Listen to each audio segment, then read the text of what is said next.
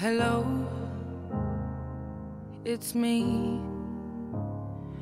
I was wondering if after all these years you'd like to meet to go over everything.